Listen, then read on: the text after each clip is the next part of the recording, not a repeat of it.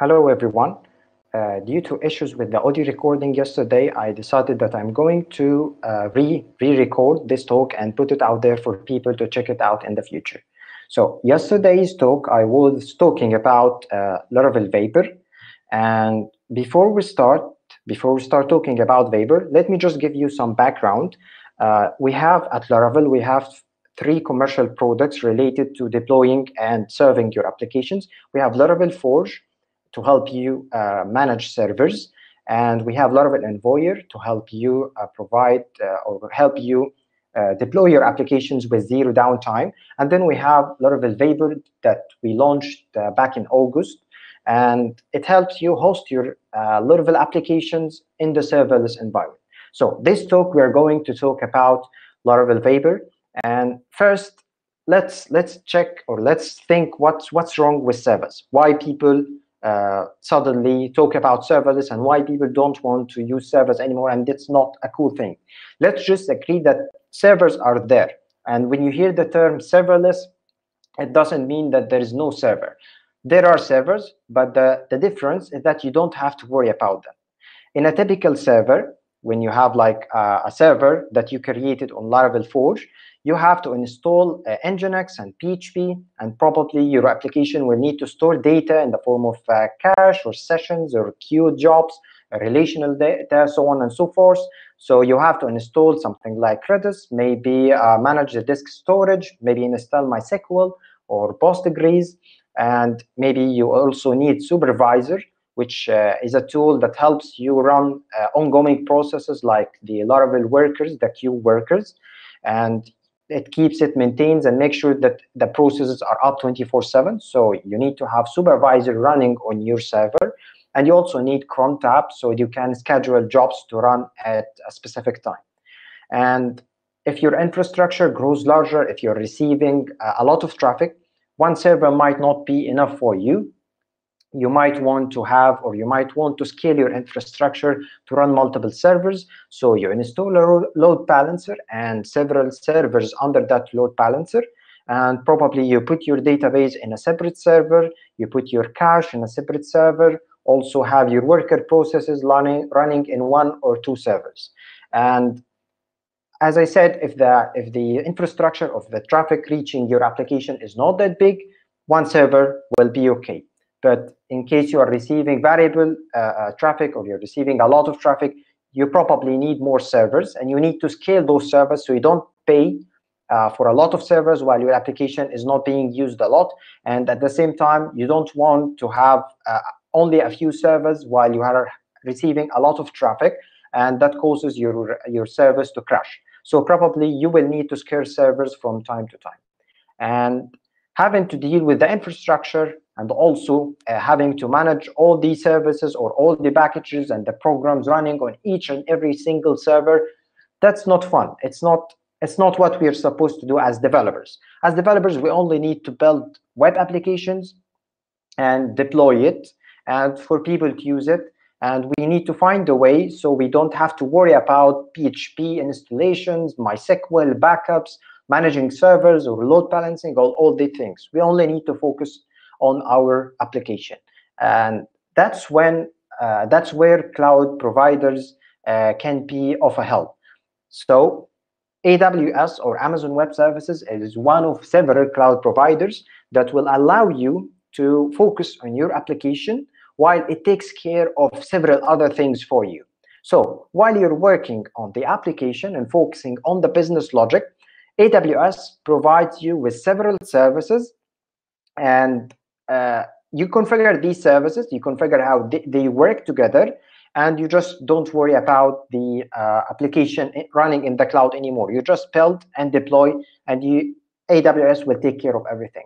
So the services that we we are interested in now is first the API gateway. It's uh, it's a service that receives requests from the customers, HTTP requests, and it directs them to either your servers or your uh, uh, containers if you're running Docker, so on and so forth. A similar service is Amazon Elastic Load Balancing, and it works the same way as API Gateway. There is also Amazon S3, and it's uh, it's a service that allows you to store files, so you don't have to worry about disk space, uh, disk space and managing disk space on your own servers. There is also CloudWatch where you can point all the logs from all the Amazon services. So you can have a central place where you can check all the logs about the services running. And also you can use CloudWatch to schedule jobs and uh, run uh, maybe a Docker container or run a command on one of your servers, so on and so forth. And there is Amazon RDS, and it's a service where you just decide that you want a MySQL database or a Postgres database, and it takes care of managing the database, scaling, and handling backups for these uh, for these databases, so you don't have to worry about it. There is also Amazon SQS, and it's a service where you push your queue jobs to that service, and it will invoke your application to run the jobs in the queue uh, whenever there are jobs available. So you don't have to worry about managing queues anymore when you use Amazon uh, SQS. There is also Amazon Elasticache. If your application needs to store cache, and it probably uh, does, uh, you just send the cache to Elasticache and you read from Elasticache, and you don't need to worry about uh, handling a server for running Redis or um, taking backups of the data or scaling that server so on and so forth. All this is taken care uh, of with, uh, with Amazon Web Services. And there's also DynamoDB, and it's a key value store that you can use to store maybe your cache, maybe store some data related to your application, and so on and so forth. So besides all these services, there is AWS Lambda. And Lambda is, is the one most interesting uh, service that we as Vapor user or people interested in Vapor in general are going to uh, to find because it's how it's it's it's actually the serverless part of all this infrastructure.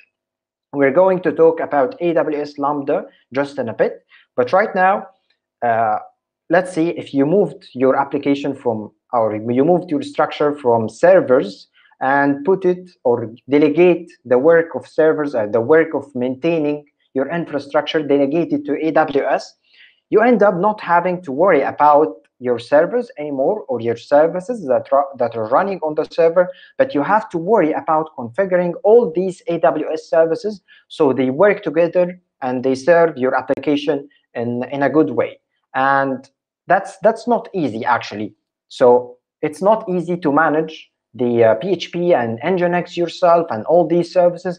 It's also not easy to configure the AWS services to work for you.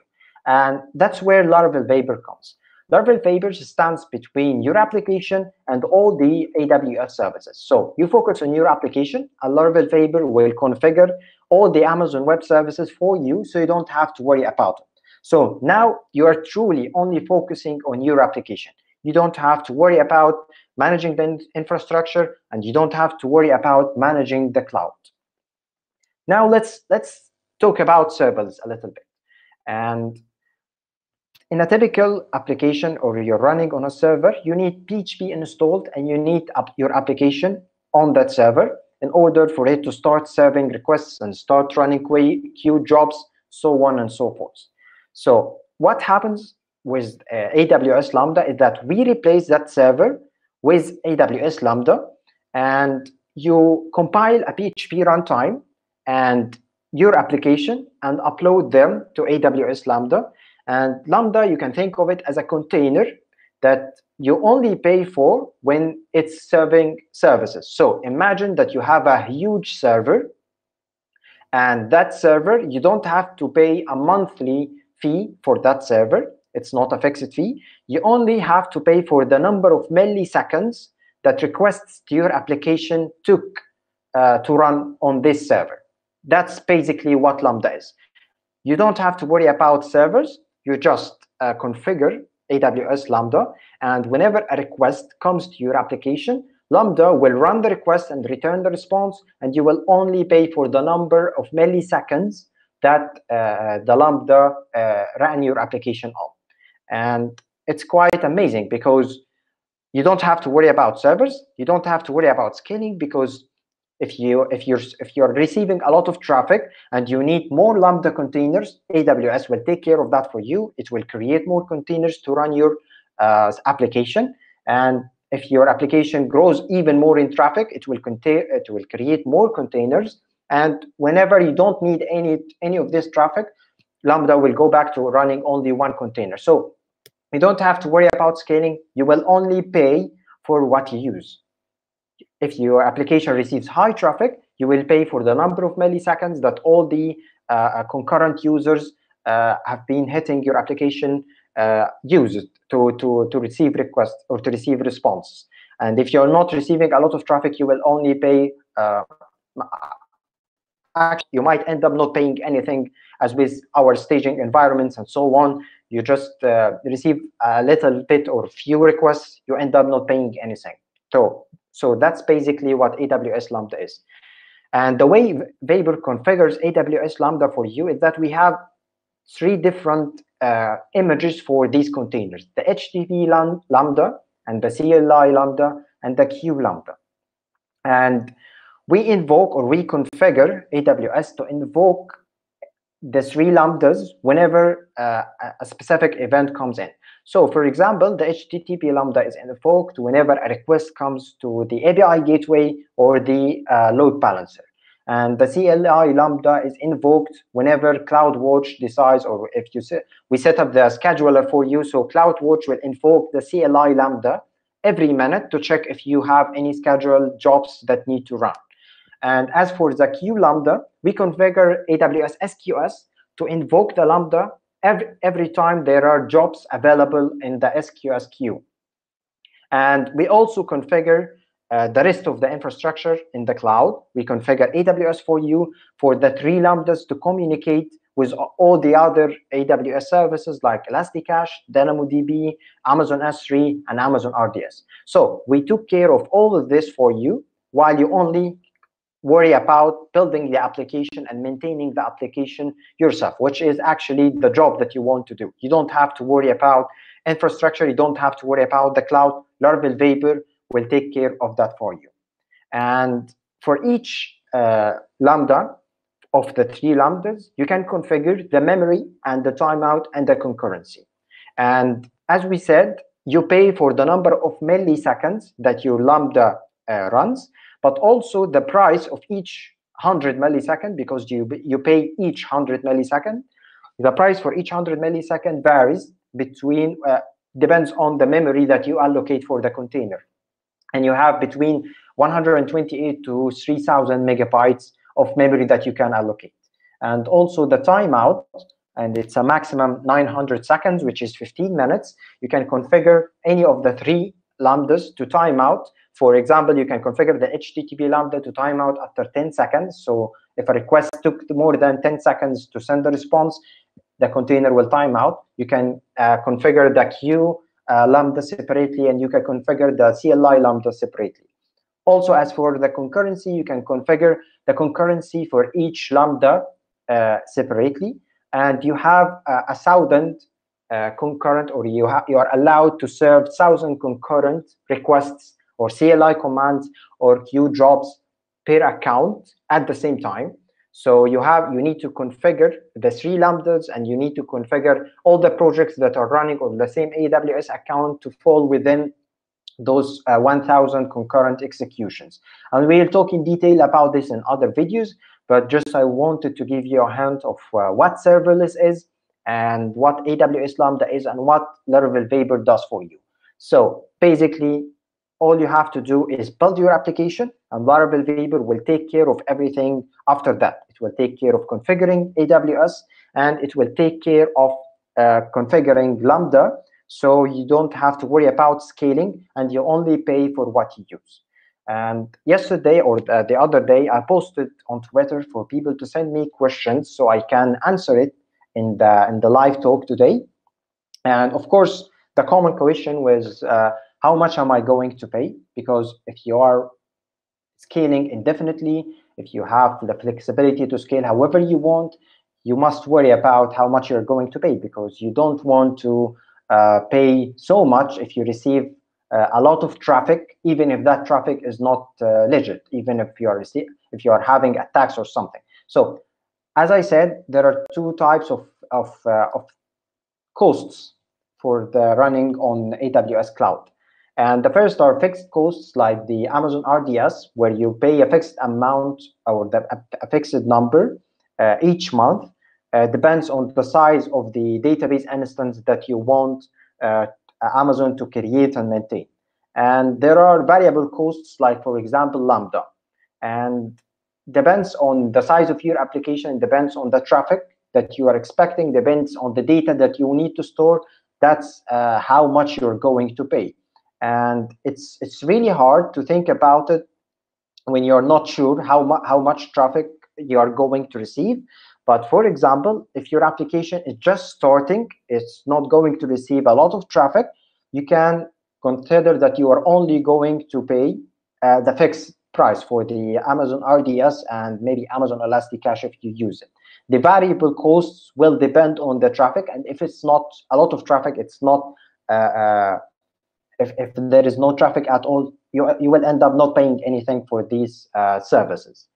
And for here comes another question where people are worried about DDoS attacks since the lambda scales indefinitely.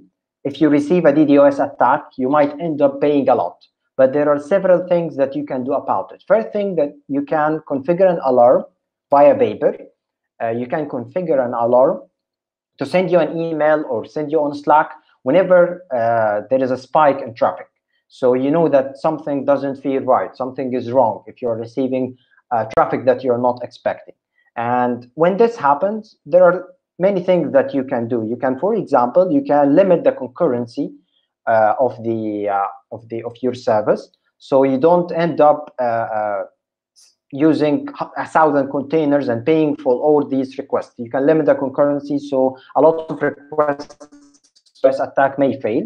And there is also, you can use a service like Cloudflare to secure your application against DDoS attacks. So the, uh, the attack comes with a minimal loss. And let's just say that there is no 100% foolproof solution for DDoS attacks, but you can, of course, you can uh, control the side effects of this attack uh, and decrease the cost or decrease the the amount of money that you were going to spend uh, while a DDoS attack is being is being uh, while you are a being a victim of a DDoS attack. And also there is a question when when you should not consider using Vapor in my personal opinion, if you have, uh, if you are happy with your current infrastructure, you shouldn't you move to serverless.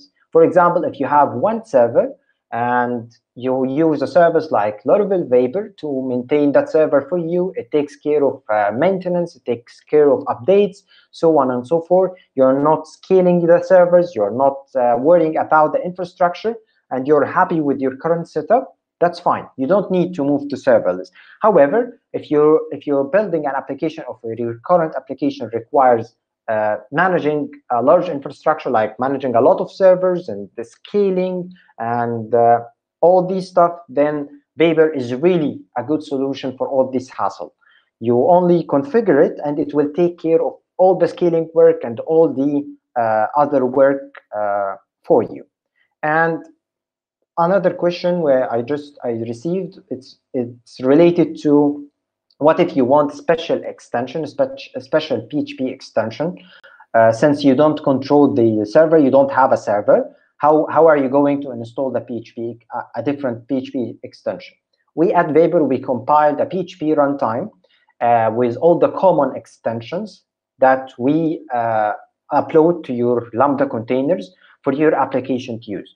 However, if there is an extension that you want to use that is not available in the in the Vapor runtime, you can fork the Vapor runtime because it's available open source, install that extension, build the, your own layer, and publish it to uh, AWS, and use that layer instead of the uh, layer that Vapor provides. So basically, these are all the common questions that I received on Twitter and I'll happily answer any question that you send me on Twitter or you send me as a comment on this video. And I hope this talk was useful and uh, I hope the quality of the audio is better than the talk from yesterday. Uh, thank you and have a great day.